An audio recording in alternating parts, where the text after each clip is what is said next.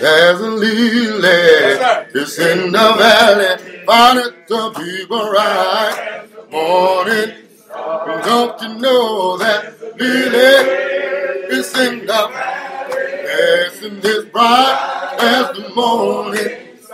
Don't you know there's a yes, it's in the well, and it's bright as the morning. I want to sing, hey, well, amen, yeah, amen. Somebody found peace. It's in the valley, but it's the people right as the morning.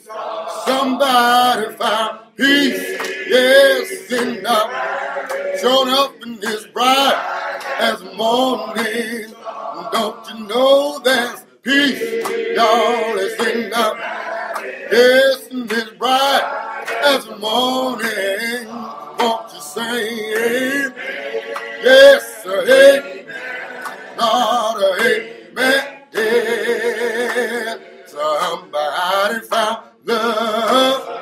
In the yes, in this bright as the morning Somebody found love. Love is in the sure enough it is in this bright as morning. Somebody found love, y'all. Uh, it's in the in this bright as morning. Oh, won't you sing amen? Lord, amen. Yeah, amen. You know that's y'all. Somebody found God. He's in the well and he's brighter as the come on y'all. Somebody found God. God is in the enough is y'all bright.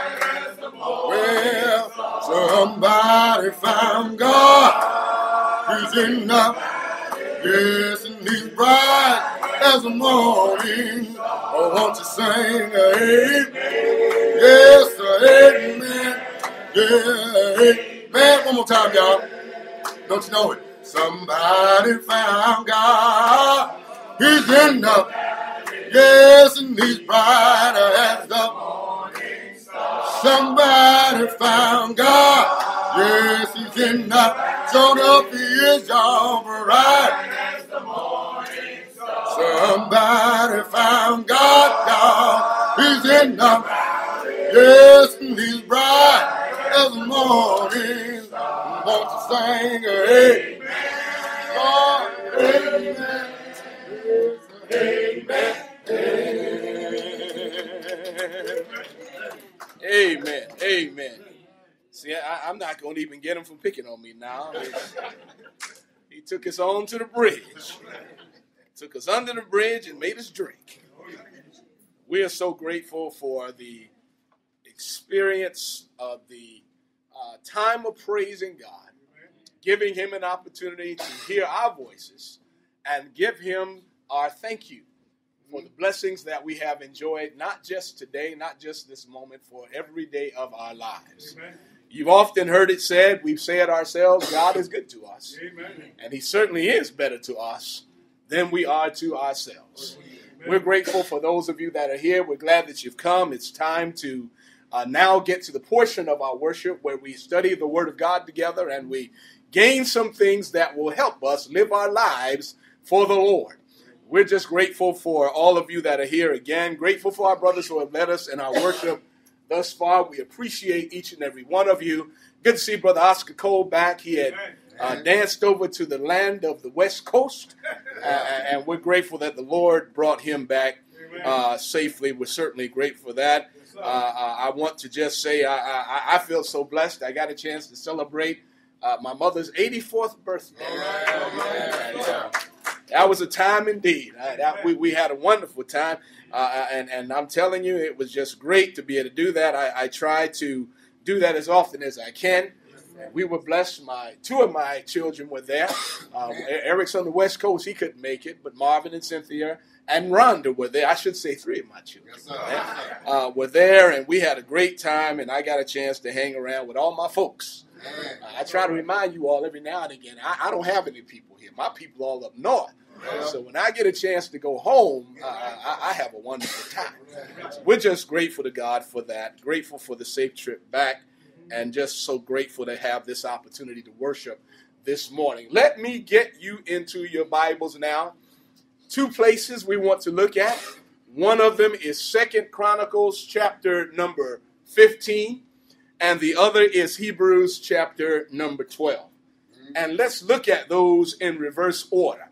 Let's begin in Hebrews chapter 12. And I want to pull out a few verses there as a stage setting, if you will, for where I really want to go, and that is in the Old Testament book of Second Chronicles.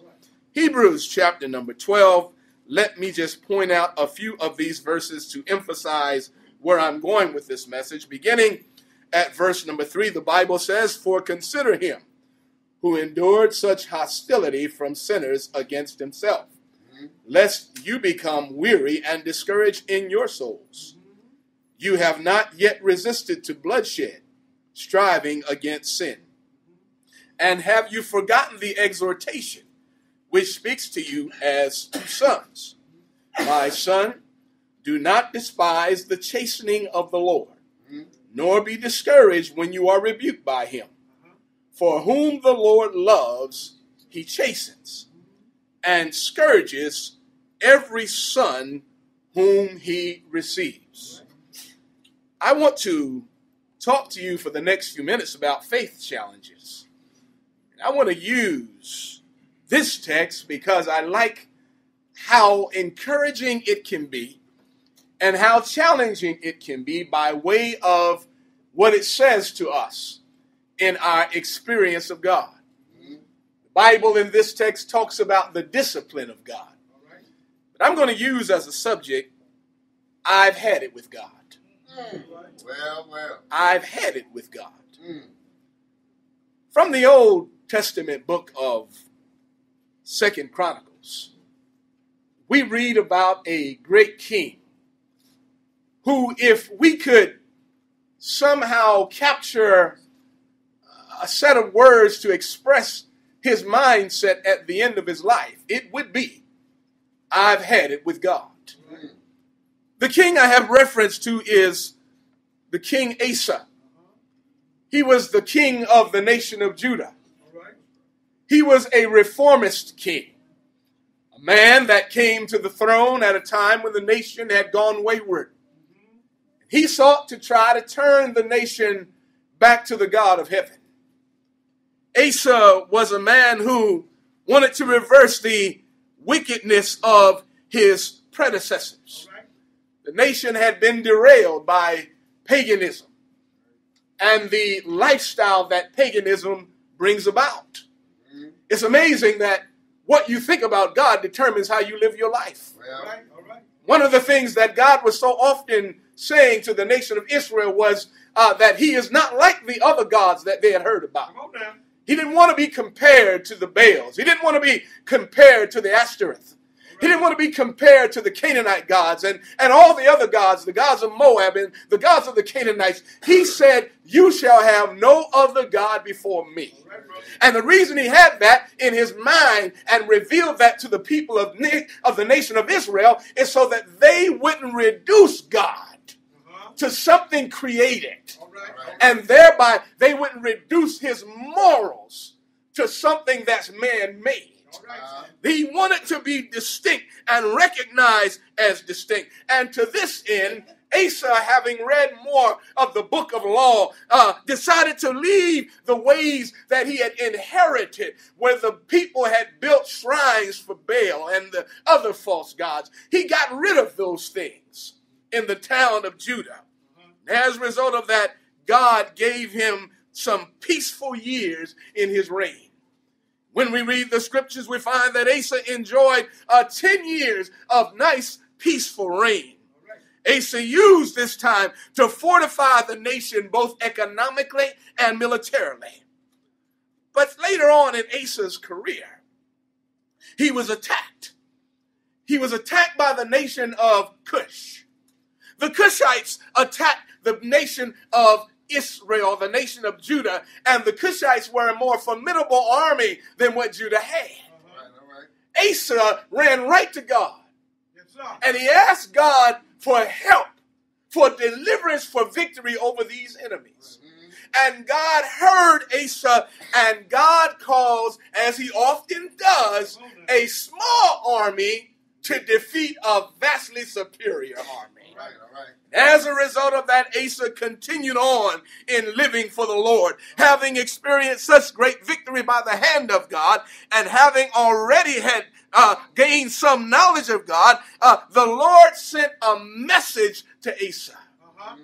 It was a message of grace. All right. It was a message of promise. It was a message of challenge. I want you to share that message with me just for a moment here in first or rather second Chronicles chapter number 15 and the first few verses. I want you to hear this message that God sent. The Bible says, now the Spirit of God came upon uh, uh, Azariah, the, the, the son of Oded, and he went out to meet Asa. And he said to him, watch this carefully. Hear me, Asa, and all Judah and Benjamin. The Lord is with you while you are with him. All right. All right. Now. If you seek him, he will be found by you. But if you forsake him, he will forsake you. For a long time, Israel has been without the true God, without a teacher, teaching priest, and without law. Uh-huh. But when in their trouble they turned to the Lord God of Israel and sought him, he was found by them. Right. In those times there was no peace to the one who went out, nor to the one who came in. But great turmoil was on all the inhabitants of the lands. So nation was destroyed by nation, and city by city, for God troubled them with every adversity. Right. But you be strong, and do not let your hands be weak, well, for your work shall be rewarded. You see, church, this was a message of grace because God chose this man to give him favor. This was a- a- not only a message of grace, but it was a message of promise. God said, As long as you're with me. I will be with you. But then again, this was a message of challenge. Because again, God said, As long as you're with me. I will be with you. And it is from this message that I want to draw out some thoughts for us. I want you to notice that the Bible reveals that God has a unique view of the human condition. Yes, sir. Did you not know that God knows what's happening in Huntsville? Amen. oh yeah, oh yeah. God knows what's happening in Atlanta. Yeah. God knows what's happening in the southeast states. He, he knows what's happening uh, across these United States. Yes. God knows what's happening in this world. And God has a unique view of the human condition. Now, what do I mean by the human condition? I'm talking about how we get along in this world.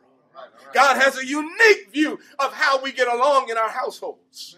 He's got a unique view of how we get along in our communities, how we get along in our society, how we get along in the church, Right. how we get along in the country. How we get along in the world. And with God's unique view, we need to take a step back and really see what God said to Asa. First of all, when we look at God's unique view of the human condition, we see that God is always searching for willing followers. Amen. Notice, if you will, verse number two. Once again, hear me, Asa, and all Judah and Benjamin. The Lord is with you while you are with him. If you seek him, he will be found by you. God is always looking for willing followers. I stress that word willing because God made us after his own image. And to be made after the image of God and in the likeness of God means that God made us with free will. He made us with the ability to choose how we want to live in his world. God made us that way because God wants people, his human creation, to willingly come to him. God doesn't want coercion. No, sir. Right, all right. God doesn't want to force us into anything. God wants a relationship with us. And can I remind you that no human relationship is worth being in if it is a relationship of coercion. It has to be a relationship of willing willingness. When a man uh, marries a woman, uh, he wants her to love him, but not by coercion. If he's got any sense about him, he won't try to force her love. He'll try to earn it, if you will. He'll try to win it, if you will, by being the one who expresses love first. Don't you realize that when it comes to our relationship with God, the Bible teaches this is the way God wants it. We love Him because He first loved us. God doesn't want humanity following Him for fear of what would happen if we don't. Perfect love casts out all fear. He wants people that will willingly follow after him. And when we look at God's view of the human condition, we see that God wants to favor every human being. Amen. There are people in this world who think that God doesn't care but about certain people in the world. God is love. And the Bible lets us know the nature of his love, and the Bible lets us know the extent of his love in a verse that all of us could quote by heart. God so loved the world that he gave the very best that he had. So God wants a, a human being to willingly come to him. But I want you to notice something else about how God looks at the human condition. God will provide divine favor to those who seek him. But he cannot continue divine favor to those who reject him. Uh-huh. Notice what he said to Asa the Lord is with you as long as you be with him. But if you stop with God, he'll stop with you. Amen. Somebody says, How can a loving God stop showing his favor when man rejects him? Because God has to stop showing favor when we continue to reject him. If he didn't do that, it would violate his justice. Uh-huh. The justice of God cannot allow sin to go on with impunity. Preach, preach. The justice of God cannot do like this. I'm going to keep on blessing you no matter how you treat me. Mm. I'm going to keep on giving you favor no matter how you treat me. You see, God can't do that. Because if he did that, guess who he has to accept? Come on. The same one that tries to cut your throat every day. The same one that tries to destroy your family every day. The same one that tries to destroy your life every day. You see, if God continued to grant favor for people who will not accept him, then he has to accept the Satan too. Right. right, that's right. You're right. Satan will be in heaven right with you. Yes, sir.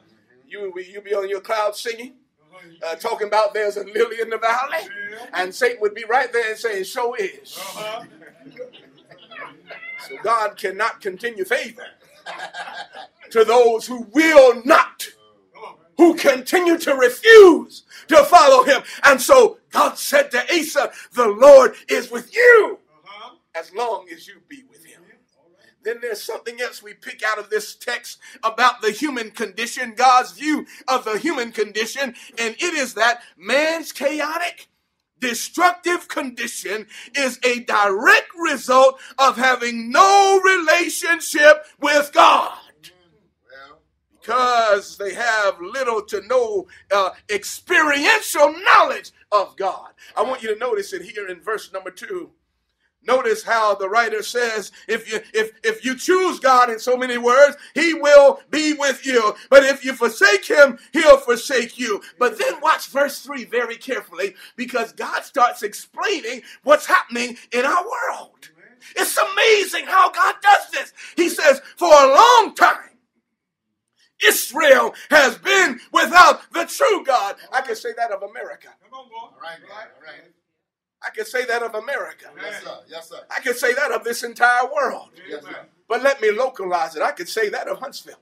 Amen. For a long time, Israel has been without knowledge of or without the true God. Watch this without a teaching priest and without law. Mm. All Do you see how that works? Yes, sir. When there is no relationship with God, it is because there is no experiential knowledge of God. All right, all right. What do I mean by experiential knowledge? Anybody can read a book. Come on now. Anybody can read a book. Come on now. But we're not talking about just reading a book. Mm-hmm. We're talking about experiencing what you read.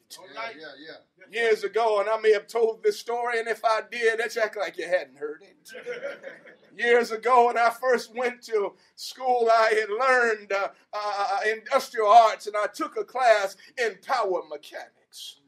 My uncle uh, was a was a man who, as a child, used to take apart engines and put them back together again. By the time I was in school studying this stuff, getting into engineering, he was already uh, owning a shop and repairing every kind of car that they brought in there. I came home one semester's in, and I went down to the shop and told him how I'd learned about mechanics, and I told him what I learned and how good I was, and I got A's on all the exams. He said, All right, that's nice. But come on down here and I'll show you how to really do it. All right, all right, all right. You know, that made a whole lot of sense. It's one thing to read about it. I can read about a carburetor. Yes, sir. I can read about how to uh, uh, fine tune an engine.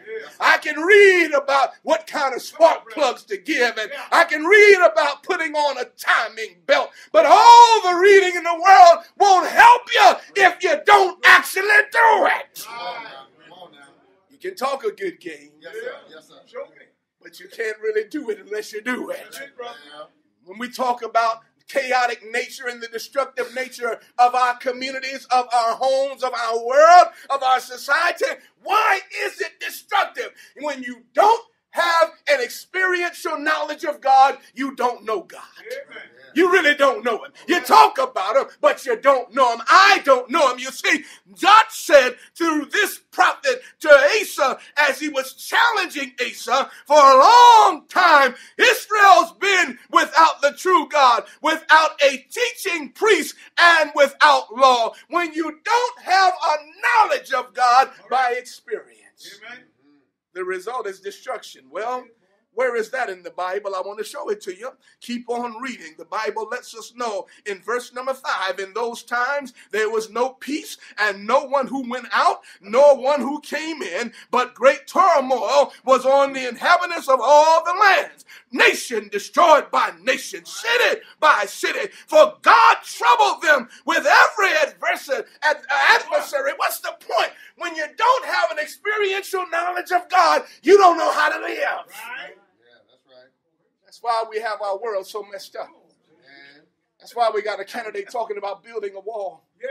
to keep people out. Maybe we ought to let the loose the wall so some of the folk can leave. well, well. I'm talking about the folk that are native here. Yeah. Mm-hmm. What I'm getting at is the fact is a wall doesn't stop the chaos. No, it does not. Because the chaos is not by border. Right? The chaos is not by state line. The chaos is on the inside. Yeah. Say that, Doc. When there's chaos on the inside, Yes, it will manifest itself on the outside. Yes. And so when the people didn't know God, they act chaotically. What do we have? Every time we see the news here in this city, somebody's in chaos. Yeah. Read about parents messing around with crystal meth, All right. Infecting their very babies, yeah, yeah. causing a life of misery for a child who never asked for it. Right. Right. Read about men taking up weapons against their own spouses. Yeah. Taking their lives. We read about women taking up weapons against their husbands, taking their lives. We read about people abusing women, people abusing men. We read about all types of chaotic activity. And then, whenever we try to curtail it by means of law, we even find that's a problem because folk who are messed up on the inside don't know how to treat one another on the outside. Right. Right. The one that Jesus said, it's not what you eat that messes you up. That's right. Yeah, yeah, yeah. That stuff doesn't mess you up. Go on, have your pig feet. If you so inclined. Have your fat back sandwich if you're so inclined. Go and just eat vegetables if you're so inclined. What I'm getting at is that basically what we eat does not determine who we are on the inside. It might impact how your heart beats, Yeah. Yeah, yeah, yeah, yeah. How your kidneys function, Uh-huh. How your lungs function, but I'm not talking about physical things. I'm talking about the inner man. What we eat does not uh, poison the inner man. The inner man is already poisoned by sin. Right. So, Dr. Jesus doesn't start with your diet No, it doesn't. Man. in terms of your physical food. Yes, sir. He starts on the inside. About your spiritual nature, about my spiritual nature. This is why he told Nicodemus, I don't care that you are a Jew by birth, you must be born again. Amen. Amen. You need to change from the inside out. Right. So when the Bible talks to us this morning from this text, we find out that chaos was in the nation because the people didn't have an experiential knowledge of God. And I want to share something else while I'm driving down this avenue. I hope that we can pull out of this text the importance of a preacher. Yeah. Oh, put a cord in the meter here. I'm probably going somewhere where you don't expect, but I want you to see it here.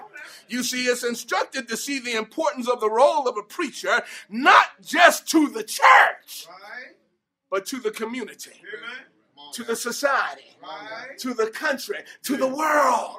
You see, folks, sadly, Satan has deceived too many preachers, churches, and Christians to be so focused on entertainment, Right. so focused on sophistry All right now. and church tradition that the teaching of the gospel and the implications of it get thrown out of the window. All right now. Yes, sir. All right. Big business to preach Jesus these days. Come on Come now. on. It's big business. Yes, sir. You can get a TV show Come on, brother. preaching Jesus. Yeah. And if you add some drama to it, you really got yourself something going on. Right, right. If you throw in all the inner workings of what's happening behind the scenes outside of Sunday morning, what's happening in the back rooms and in the choirs and all these other places, you get a hit TV show. Yeah. And we miss what it's all about. Come on. Preaching has never been about having your name in lights. That's right, that's right. It's always been about trying to get people to have an experiential knowledge of God. No wonder this Bible teaches us right here in the same verse, in verse number three, for a long time Israel has been without the true God. Why were they without the true God? Without a teaching priest. Oh, I know the priests weren't teaching. Amen. Mm. Come on now. Weren't teaching. How can you expect to have an experience of God? All right. Yes, sir. There must be a teaching of the word so that people can learn not just intellectually, but so that people can know experientially what it is like to live for the Lord. And this is what we're about here at Westview. We're not here trying to have a show. Man. Come. Yes, sir. It's not about a show. Amen. It's about learning the word. Amen. Brown, why does why does Highsmith always try to teach so thoroughly God's word? Why does Dickerson and why do why does Stone and why do you why do you try to teach so thoroughly the word of God? Because this is what it's all about. Amen. We get to learn the Lord Amen. and we learn to live with him Amen. and we learn to live for him. That's all. And not only will we impact what happens in here, which is just a part of it, we'll impact what happens out there. Amen. We'll impact what happens when you get home today. Yes.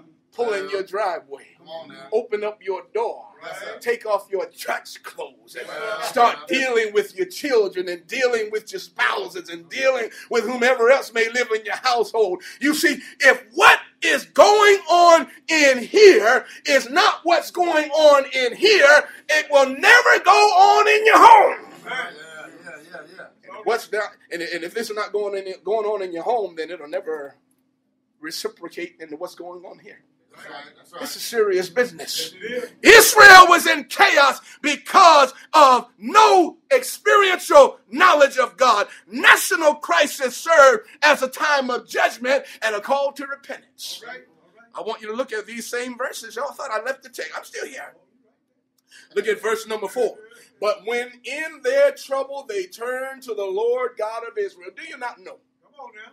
That this nation has historically turned to God whenever God turned the nation out? Right. Come on now, Yes, Doc. You're right. In. World War One, Come on. God turned the world upside down, Come on now. and folk decided to run to God. Amen. In World War Two, God turned the world upside down. Yes, sir. Hitler didn't just pop up out of anywhere. Just like Assyria didn't just come of nowhere. Hitler didn't come out of nowhere. God raised up an enemy Come on now. to shake the world. Why did he shake the world? Because when man stops looking toward God, God has to do something to shake up the world. And I'm telling you, I'm not a prophet. I'm not. Uh, I'm not a clairvoyant individual, but I know how to watch things. Come on now. You know how to watch things. And I believe God's about to shake up this country again. I believe He's about to shake it up again. When we start passing laws that have men living with men as if they're living with women, and women living with women as if they're living with men, God's about to shake up the nation. We have laws that are passed that keep the poor people poor and take even more from them. God's about to shake up the nation. We have 1% living off of 80% of the nation's wealth. God's about to shake up this nation. God shakes up this nation. He does it to give us a chance to turn our hearts to Him. Yes. He did the same thing back then. Look at the Bible once again. Verse number four. When they got in trouble, they turned to God and sought Him and found Him. Look at verse number five. In those times, there was no peace. And I'm telling you, there won't be any peace till man starts looking to God. Yeah, that's right. We ought to start hiring more minorities as police officers. That's not the only thing you need to do. Come on now. Come on now. That might be a part of the problem too. Come on now. Say that, Doc. The problem is not what's on the outside, the problem is what's on the inside. Boy. It's the inside that's the problem. Yes, sir. That's right. God said this is, he said, and during that time in verse number six, nation uh, was destroyed by nation. All right. What are we doing now? We we trying to we trying to get ourselves in military alignment. Worried about what Putin's going to do. Yes, sir. Yes, Is he building a stronger arsenal? We're worried about some of the smaller nations. Did they did they get it? Did Kim Jong Il is is he really about to attack South Korea? Well, You see, we're worried about all this stuff. Why are we worried? Because in the past, nation has destroyed nation. Right. Since this world has been in, in spinning, nation has destroyed nation. Why does God allow it? Because God wants us to wake up Yes, sir. right. and see that He is God. Notice the end of verse 6 before I move on. City, destroying city, for God troubled them Yeah. with every adversity. Right. Well, this was the challenge to Asa. Having received this challenge, Asa decided he would really dedicate himself to the Lord. I want you to notice now as we continue in the Bible, you all still with me here? Yes, sir. Yes, sir. I've been home. Let me change it back to the South. Y'all still with me? All right. All right now. Make it plain, Doc. Look at verse number 8. Having heard these words, All right. Asa decided that he would get moving. All right. He took uh, counsel, he took uh, uh, courage and removed the abominable idols right. from all the land of Judah and Benjamin.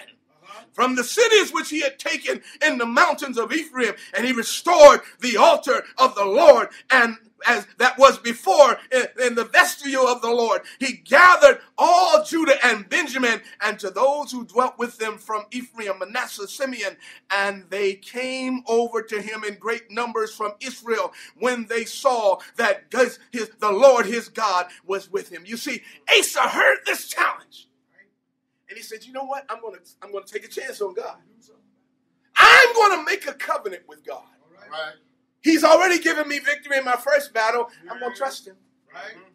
And he decided, "I'm going to turn this whole nation back to God."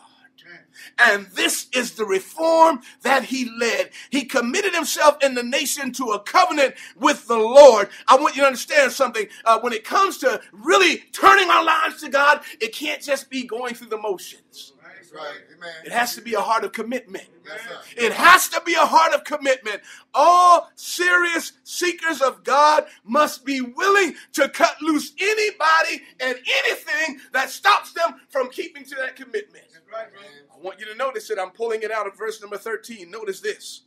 The Bible says, And whoever would not seek the Lord, the God of Israel, was to be put to death, Mm. whether small or great, whether man or woman.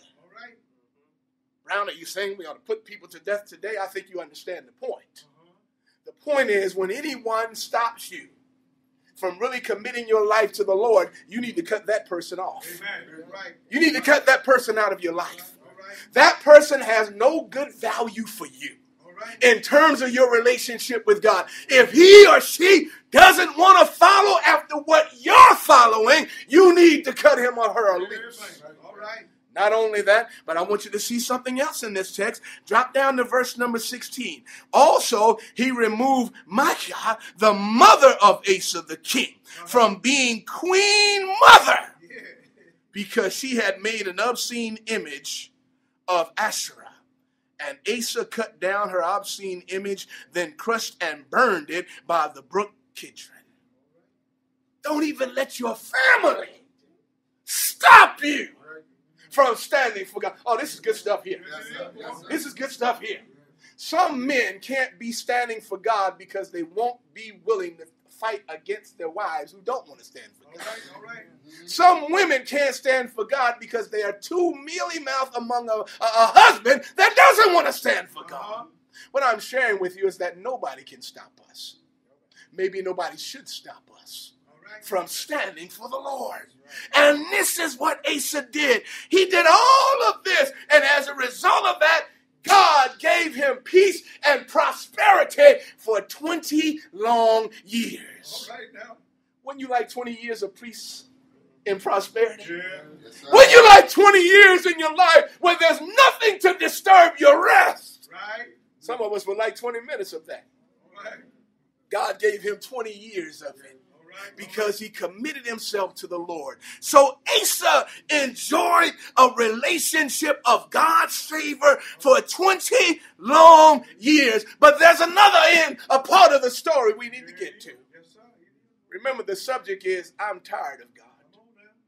I'm tired of God. I've had it with God. This same man that I've been telling you about soon reached a point where he said, I had it. All right. I've had it with God. No God follower can forget that in order to follow God, it is not a temporary convenience, No, it's not. it's a lifelong journey. Somewhere I read, Be thou faithful unto death.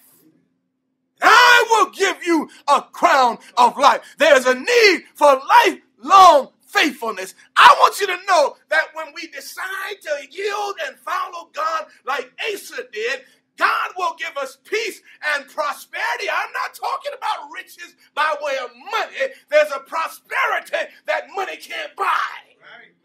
Right. Now. I'd rather come home to a, to a wife who's not having a pot to throw at my head All right, Jack. Well, well. right. than to come home with pockets full of money. Uh-huh. Come on now. Are y'all following what I'm Yes, saying? sir. Yes, sir. I'd rather come home to children that are peaceful Man. Yeah. than coming home only to know I have to run down to the city jail Yeah, yeah, yeah. and Right. get them out. All right. All right. Right. I want prosperity that money can't buy. God gave him 20 years of it. And yet, in that 20 year span, there was something that you and I uh, need to learn about Asa and something we need to learn about ourselves. And that is when you follow God, you have to expect that there will be a faith challenge. Amen. Right. There will be a faith challenge. No follower of God can avoid a faith challenge. They can come in a variety of ways. Can I tell you the only predictable thing about a faith challenge? The only predictable thing is the unpredictability of what it will be and when it will be. All right. All right. You never know right. how God is going to challenge your faith. Amen. You never know when God is going to challenge your faith. Don't go home and pull out an Excel Excel spreadsheet and try to calculate. Come on now. Well, I've been blessed for five weeks, Yeah. so week six, God's going to get me. Right. That's not how it works. All right now. As that old commercial goes, that's not how any of this works. All right. Faith challenges are sure to come, and experiencing them is the only means of determining the quality and genuineness of our faith. You and I will never know how real we are until we face a faith challenge. Mm-hmm. We will never know what we're made of until we face a faith challenge. We'll never know the quality of our faith until we face faith challenges. And Asa was going to be hit with a faith challenge, but the problem is when Asa hit a faith challenge, Asa said, I've had it with God. I've had enough of God. The crucial element of every faith challenge is whether we will depend on man or God. Right. It doesn't matter what happens in the challenge by way of what it looks like. What God is trying to get to is will you believe in me or will you believe in something else? All right. All right. Let's look at Asa. Right. Asa's faith challenge came after 20 years of peace and prosperity. He had been blessed so richly. You can read this in the 16th chapter. Mhm. When Asa faced his challenge, his challenge was the rise of another nation coming to take over his nation. It was a nation that was fierce and they came to attack Asa.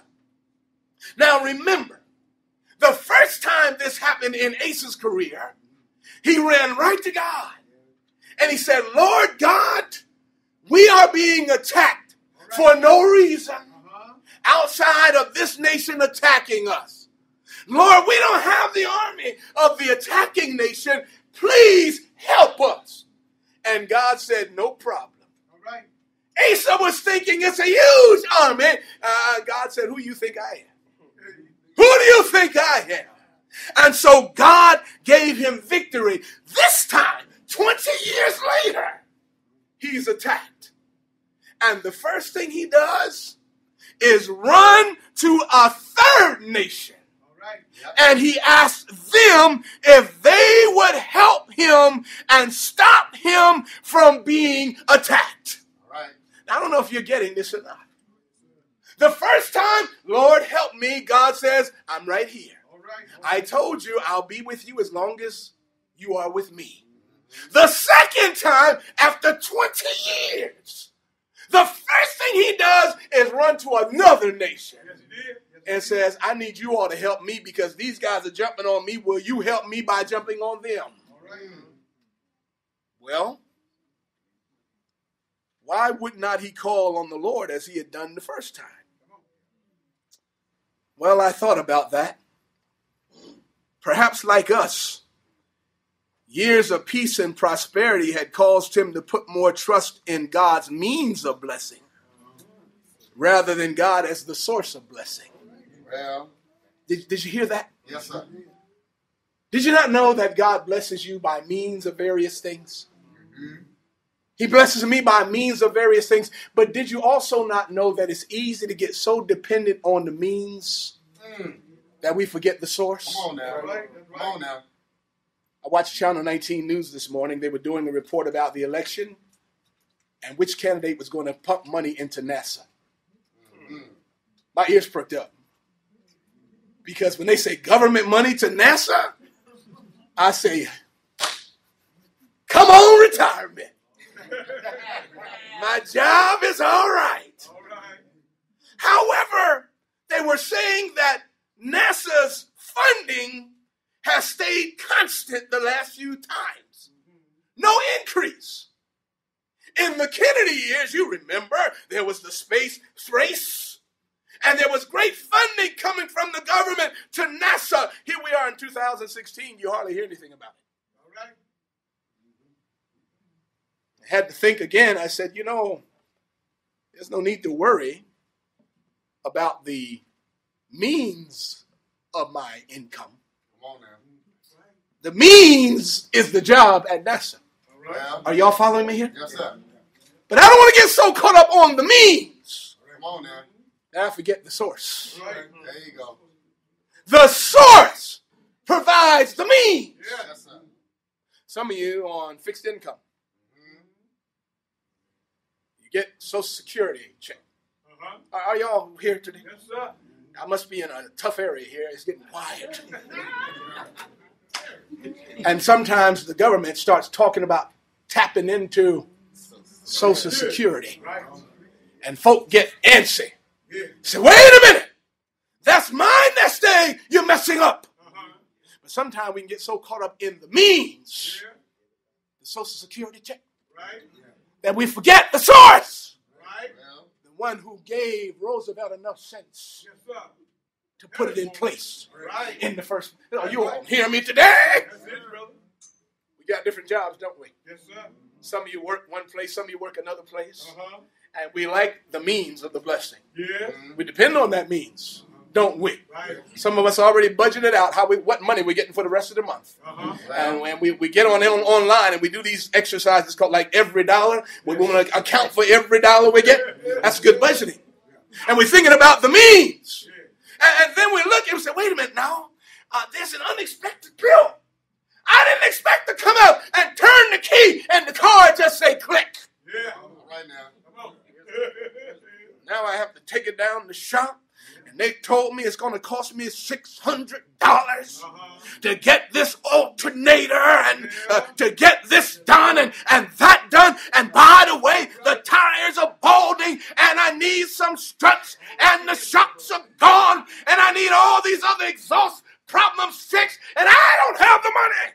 All right, all right now. I've been plan for it on every dollar. All right. All Come on now.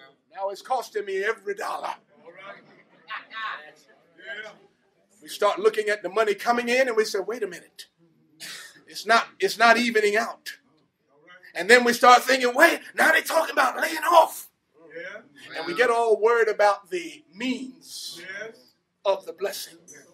Don't forget the source who provided the means. Come on now. Because if the source provided you the means you currently have, he's got much more in his storehouse.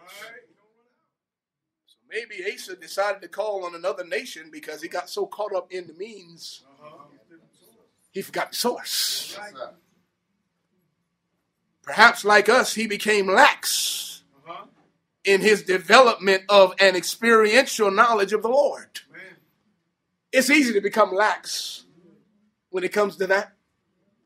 You know the life of a Christian must include what we we had a study here one time. It, it must include spiritual disciplines. Yes.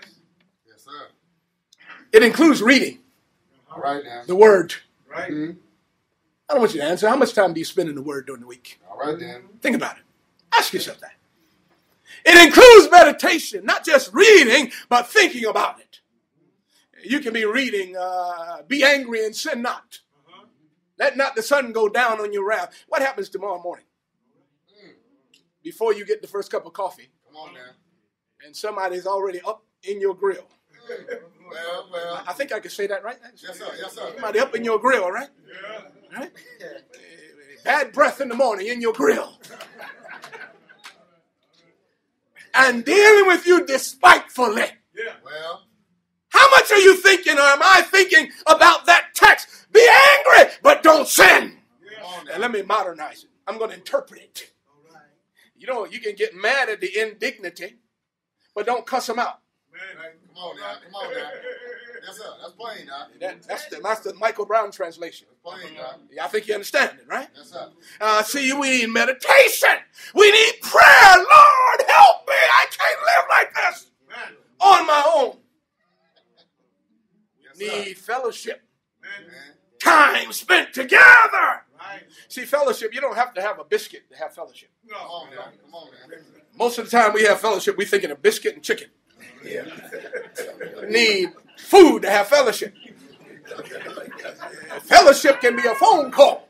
Well, Fellowship can be, you know, let's let's let's talk a walk down at the track there. Let's talk about some stuff. That can be fellowship. Well, Iron sharpens iron. Yeah. As we work together, you see, perhaps Asa had gotten lazy about that. Yeah. As a result of that, he didn't have the relationship with the Lord he needed to have. right. Perhaps like us, he limited his thoughts of God to his own limited experience of God. Mm, come on now. Do you not know none of us have seen fully what God can do for us? All right. None of us have seen fully All right. what God can do for us. Oh, you've seen some things. I've seen some things too, All right. but I haven't seen the whole thing. No. You haven't seen the whole thing. And so we can tend to limit what God can do for us to what we've already had Him do for us. Amen. Are you here this morning? Well, Lord, you know, I know last time I lost my job, you, you gave me a different one. Uh-huh. I thank you for it. But but this time, this time, it doesn't look the same. Uh, I don't know if you can do it this time. well, well, well. Abraham, go to a land that I'll show you. Yes. Here's Abram going to the land. Not even worried about it. God said, go. And he says, I'm going. Right. Until he got to Egypt. Um, Uh oh. Somebody's going to look at Sarah. Yeah. She fine. Yeah. She got the motion in the ocean. She look good. I just went to Victoria's Secrets and got her some stuff for me. Some of y'all missed that. Tell them you're my sister. Wait a minute. You didn't ask God for directions. You you you you went on travel. You didn't ask him for a AAA map. No. You didn't even ask him for a GPS. You just left. Right. You thought he was good enough then. Why now that you hit Egypt do you think he's inf- insufficient? Right. Come on now. Let's not blame Abraham. We do the same thing. Yes, sir. Yes, sir. Lord, you're good for this, but you're not good for that. All right. Lord, you're good for me to make money. You're good for a nice job for me, Lord. But when it comes to trouble with my children, Come on now. I need to go to Dr. Phil and ask him, No. Please, now. what should I do? All right, sir. Trouble with my spouse, I need to go uh, to Judge Judy. Uh, well, well. Ask her, what should I do? You better leave Judy alone and listen to what God had to say. All right now. Well, let me move on. Y'all all right? I'm almost done. Look at this. Find that Asa decision, his, his decision was soundly condemned. I'm gotta, I got to hasten on. You read a little bit later in chapter 16, God came to him and God said, I want to know why you didn't come to me this time. Why didn't you come to me this time? All right now. All right. I helped you before, Yeah. and that situation was tougher than this one. Right. Why didn't you come to me? Yes. Now you're going to, I, con- I condemn your choice. Yes, sir. You see, what God did was discipline him. Whom the love, Lord loves, he disciplines. God disciplined him. And when God disciplined him, God did so hoping that Asa's heart would be humble enough to say, I messed up. Right. I'm coming out with my hands up, Lord. But no, that's not how Asa reacted. Asa got mad. Oh, yes, he did. He got mad at God. Well, Do you hear what I'm saying? He got mad at God. Right. yes. Some of us sit here and we say, Oh, I'll never get mad at God.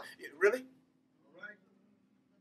You know, when your life changes to a degree that you didn't expect, it's easier than you think to get mad with God. Yeah. Asa got mad with God. Yes, he did. He got so mad with God, he started treating other people badly. Yes, he did. Mm. He punished people as king. Right. He was taking out his frustration on other people, but he was really mad with God. Sometimes we wonder why people can treat us so shabbily. Uh-huh. I'm talking about Christian folk. Yes, sir. And why they treat me so bad? Because sometimes the folk treating you bad, treating me bad, really have a problem with God. Right. It's just that they can see us. Uh-huh. So they vent on us. But their problem is with God. Asa had a problem with God Unfortunately, rather than use divine discipline as an opportunity to repent, he became bitter against God. What can make a Christian bitter against God? Well, one thing is unrealistic, non biblical expectations. Many Christians have really never known God, not the God of the Bible. A lot of us know the God of grandma. Well, well. Come on now. We know the God of grandpa, Yes, yeah, sir. Yeah. but but we don't know the God of the Bible. All right. And we don't know the God of the Bible because we never went beyond what somebody told us. All right. You can't just be told about God.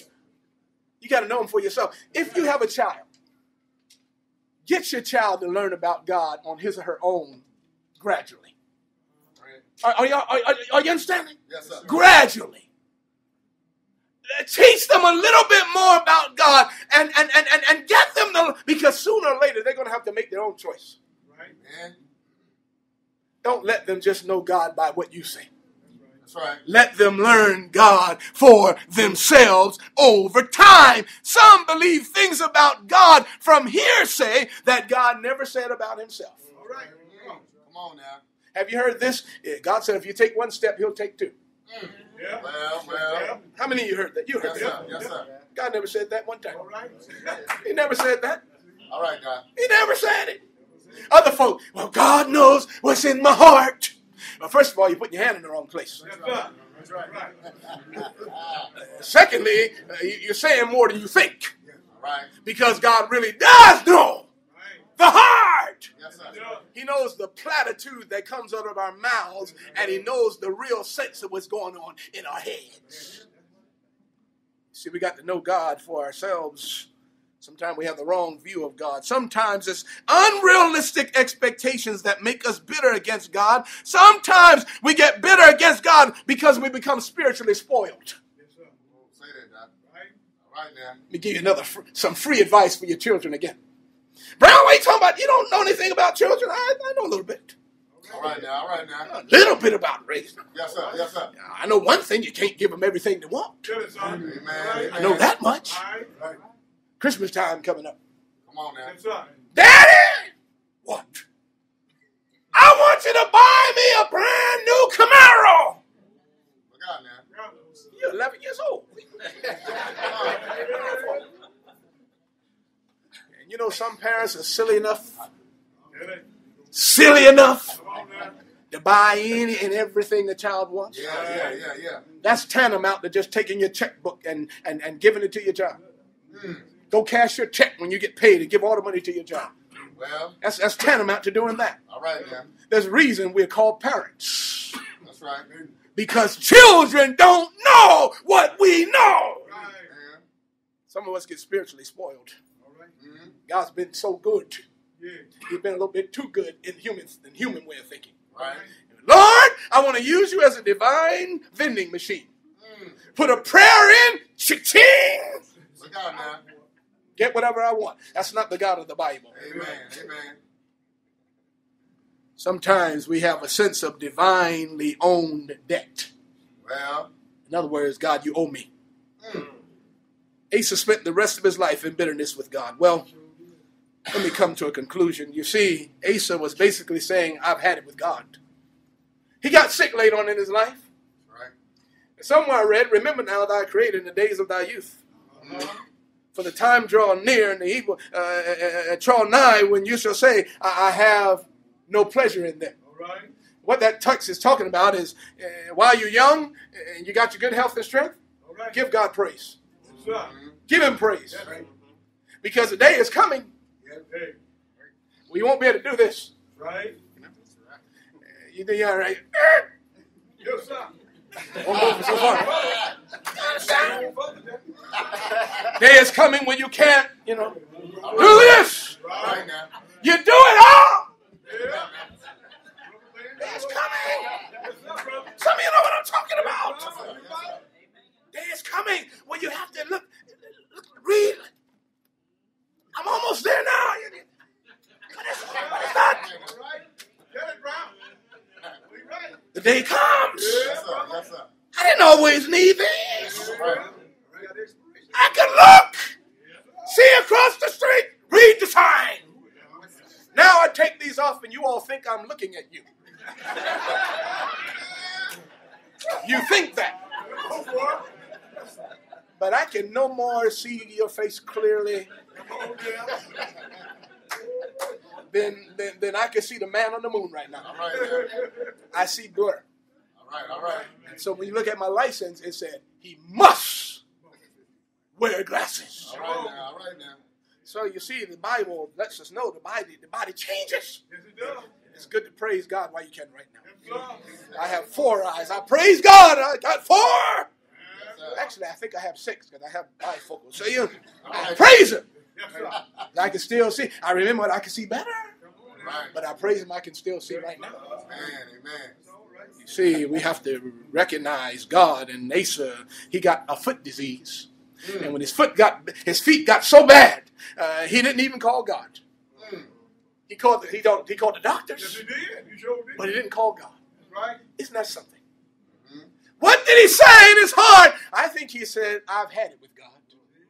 I've had it with God. Let me conclude with this. Church, you and I have to deal with our faith, faith challenges. And we have to deal with them in the right way so that we don't ever say in our hearts, I've had it with God. Amen. How do we deal with them? First of all, know that they will come. If your life is going well right now, enjoy it. Enjoy it. It's not going to last. Can I tell you that again? It's not going to last. It's not going to last. Know that they would come. And then, secondly, consistently prepare for them. Faith challenges are coming. Get ready for them. You know how to get ready for them? Exercise. Exercise. Spiritually, exercise. All right. All right. Practice spiritual disciplines. Thirdly, develop, or should I say, expand your faith in the Lord. Expand it. You trust Him for what you do right now. Yeah. Go out into the water a little deeper. Yes, sir. Expand your faith in the Lord. And Fourthly, and lastly, use godly discipline as an opportunity to grow closer to, not farther away all right. from the Lord. Amen.